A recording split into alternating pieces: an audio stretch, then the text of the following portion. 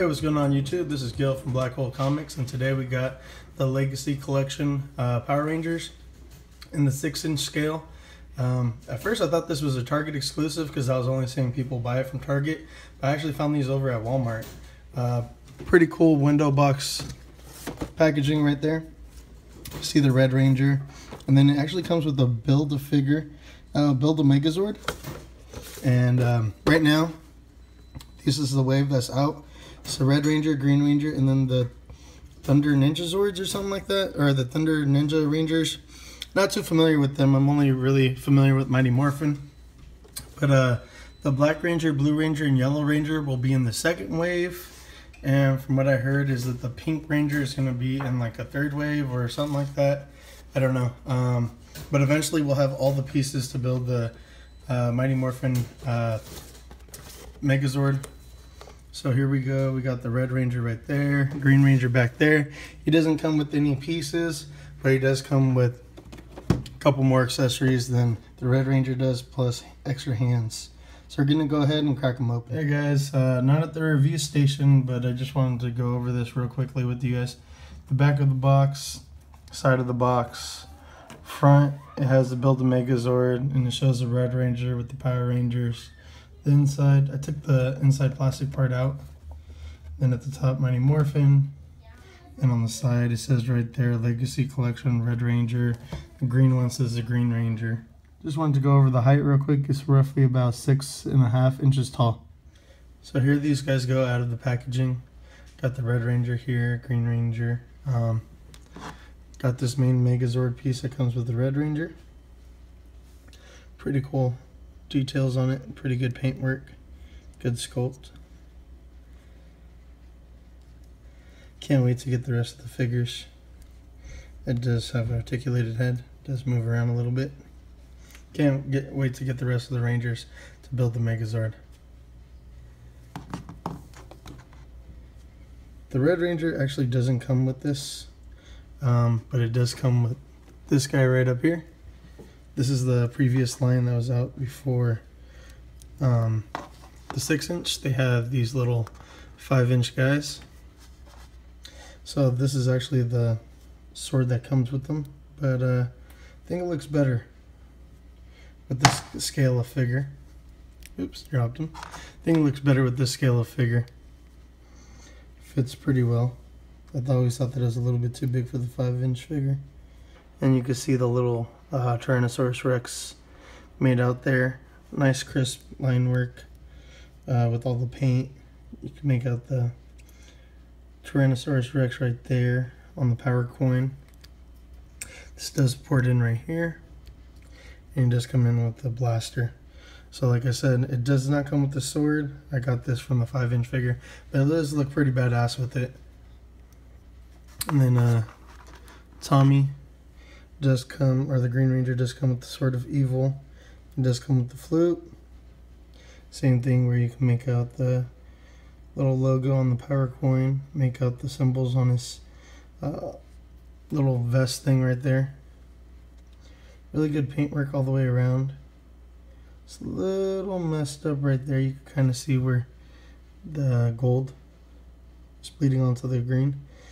But that's just being nitpicky. Same thing, this, the little pouch for the dagger, plugs in right there. And then, like I said, he does not come with any Megazord pieces, but he does come with these alternate hands. And there to hold the flute as if he's playing it. Pretty cool. Let me go over the articulation. Go ahead, take this stuff out of his hands. Uh, just by the way, these are super pliable, super bendable. So if you, you know, accidentally bend them a little bit too much, you could use a hair dryer to just straighten them out real quick. So these guys are kind of like set up like Marvel Legends with the articulation way better than the 5 inch figures. 5 inch figures were super crappy. I think only like 7 points or 9 points of articulation. These have tons more. So the head does go down, up, not a whole far back, especially because of this. Let's see if the Red Ranger, oh no, he doesn't go too far back either. So yeah, not too far back, but he does go down. does rotate.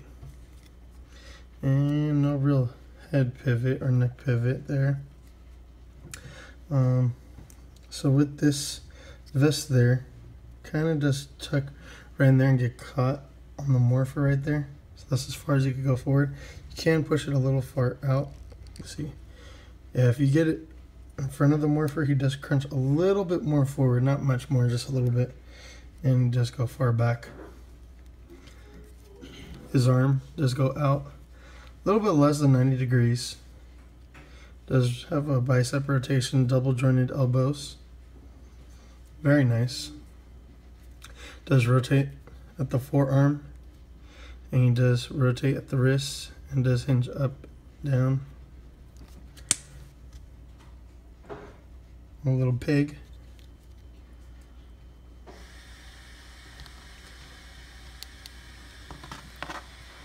Tricky to get it back on. There we go. Get it back on.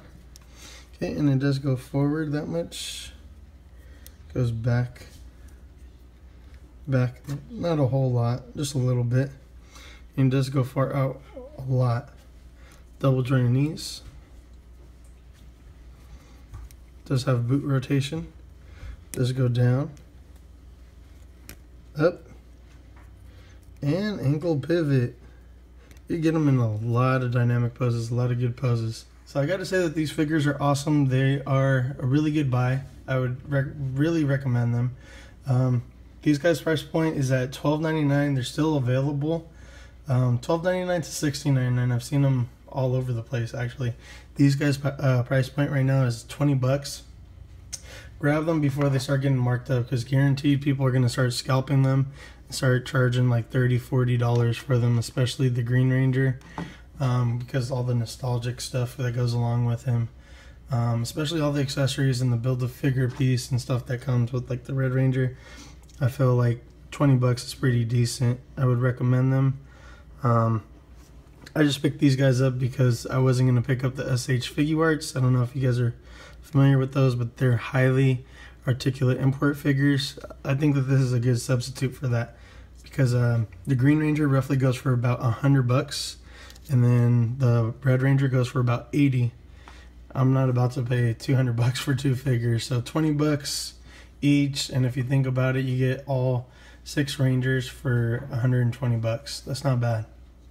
Then you do come with the Megazord build a figure, so seven figures for 120 bucks isn't bad. Um, all right, guys. Thanks.